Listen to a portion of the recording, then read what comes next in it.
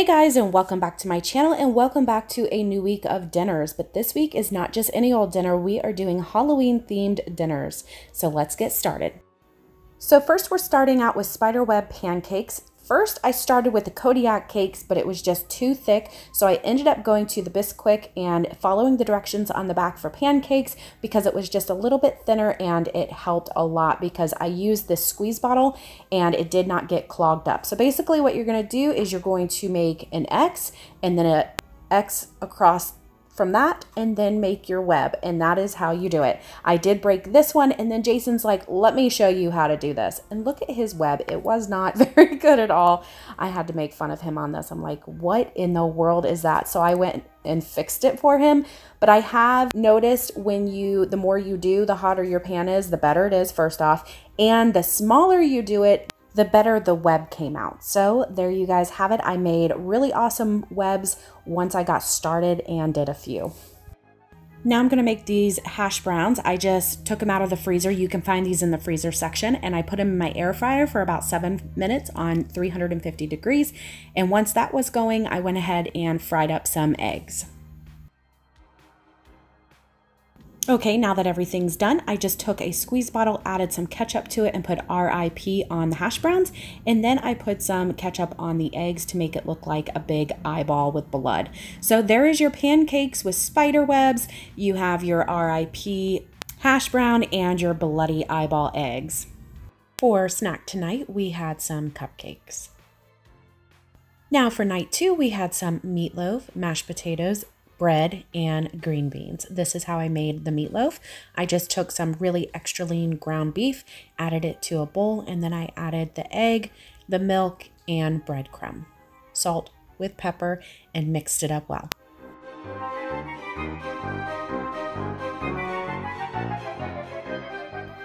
Now I'm going to shape it into a dead body, or Sophia would say a gingerbread man. I thought it looked like a gingerbread man too, but whatever. So you just add the body, the head, the legs, and the feet. And then for the eyes, I'm going to go ahead and cut up some cheese. Just cut those into sticks and crisscross them like X's. So it looks like he is a dead body.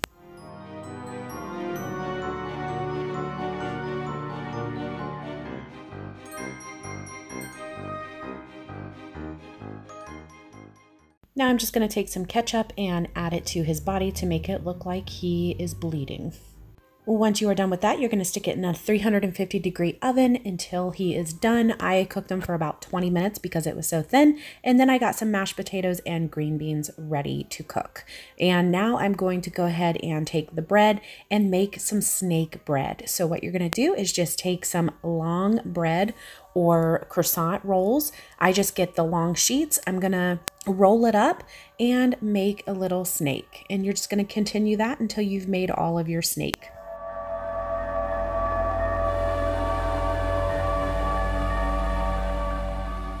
To cook the snakes, just follow the package directions. Once that is done, you are done with that. And then I'm going to take the mashed potatoes and stick it in a piping bag and you're going to pipe the mashed potatoes like a ghost. So you're going to start thick at the end and then work your way up and go really thin and then pinch the top of the potato stack. And you're just going to keep on going around this little dead man until you have all of your ghost.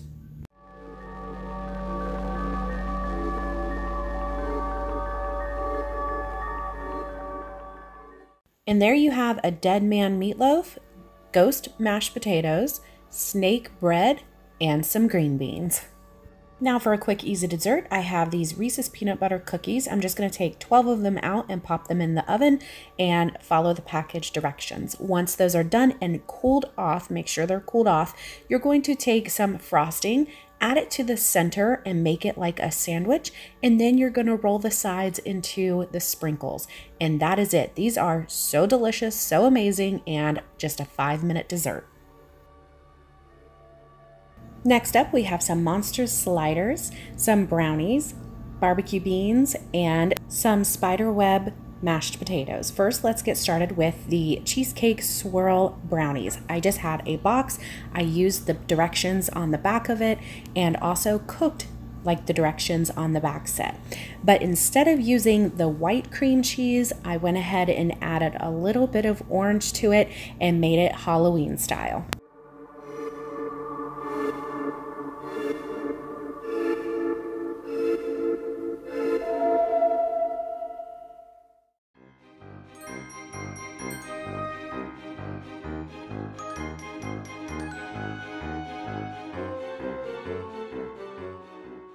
Once you are done with both mixtures, you're gonna go ahead and take the brownies, put those on the bottom, put the orange on the top, and then just swirl it all together.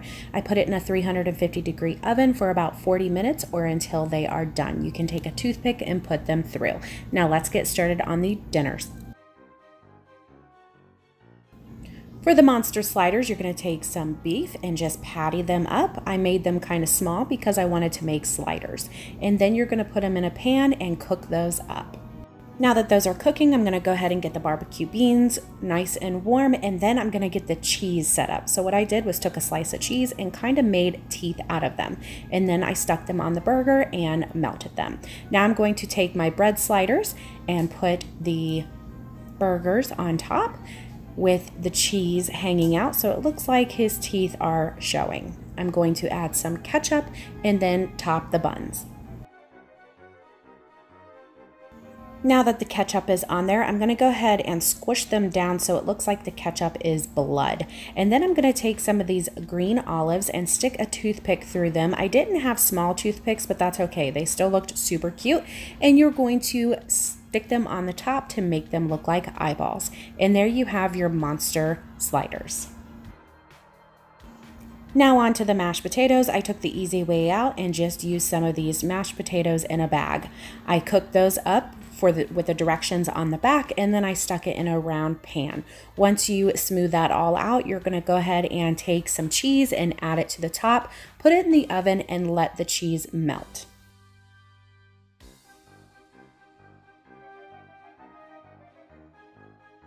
When I brought it out of the oven, I let it sit for a few minutes so that way it would not melt this sour cream. So I took some sour cream and put it in a bag and then I just added a web to it.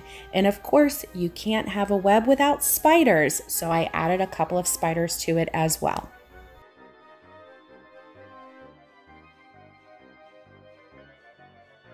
And there you have an amazing, delicious meal with these monster sliders. I also have the brownies that look yummy and delicious once you open those up. They have the orange all in the center, so yummy and gooey. And then I have these mashed potatoes with cheese and sour cream, and of course, the barbecue beans. For the last dinner, it's super easy. We're going to end the week with a super easy one. We have some pizza and a cookie pizza. So let's go ahead and get started. I got a box pizza dough and I just followed the directions on the back. Super easy. Just add some water and you're done. Roll it out into a circle and then you're going to add your sauce and your toppings. Okay, Sophia, you're going to make a mummy. Do you know what a mummy is? A mom wrapped in paper. A mom wrapped in paper. toilet paper. Perfect. Okay, so what we're gonna do is you're gonna use the sauce. I have sauce here, some eyeballs. I have um, some of these pepperonis if you want them, and some cheese. So let's get started.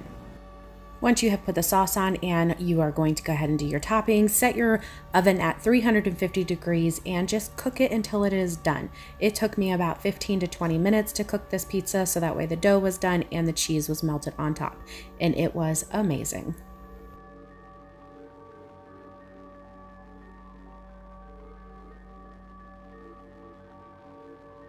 Now, as for the cookie dough, I just took the rolled cookie dough and laid it out and made a circle. And then put it in your oven 350 degrees for about 15 minutes. Okay, and there you have a mummy pizza. Allison just did um, spider pizza, and Sophia did a monster pizza. So you guys can basically do anything that you want, and it will look cute no matter what.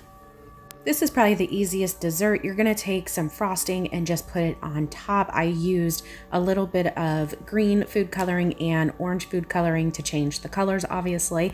And then just take the Korean frosting and put it all over the top and then take some sprinkles. We have Halloween ones here and that is it. Thank you guys so much for watching. I hope you enjoyed this video. If you did, give it a thumbs up, subscribe, and we'll see you guys in the next video. Happy Halloween, everyone.